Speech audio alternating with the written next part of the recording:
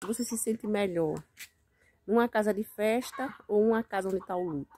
Né? O que é que você acha que é melhor? Né? Aos nossos olhos é natural, melhor é numa casa de festa, onde tem alegria, né? Onde tem é, comemorações.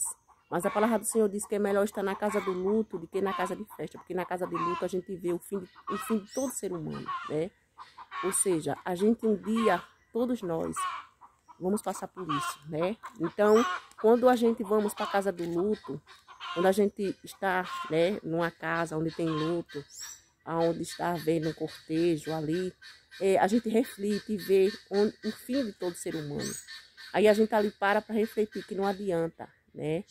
É, tanta, tanta é, soberba, tanto orgulho, tanta ganância, tanta coisas ruins, que no final de tudo vai acabar ali, um caixão, sendo sepultado na terra. Nada vai levar dessa terra. Você não leva nada dessa terra.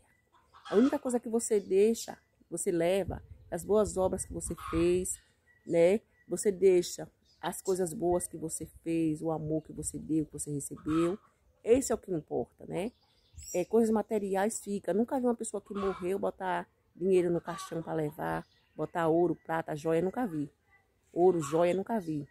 Então, a gente às vezes corre atrás, né, de tantas coisas no dia a dia, corre atrás. Não tira um tempo para passar com a família, né? Não tira um tempo para é, ceiar com a família, estar ali junto com a família, por causa da correria, porque eu quero trabalhar, porque eu quero mais, mais, mais. E aí, quando o tempo passa, chega um momento, né? Rapaz, fulano morreu tão rápido e não curtiu nada da vida, não aproveitou nada, só trabalho, trabalho. A Bíblia diz que tudo é, tudo é vaidade, tudo é cansaço, enfado, né? Então, venhamos saber aproveitar o nosso tempo. O nosso tempo é tão curto aqui na terra, amados, tão curto.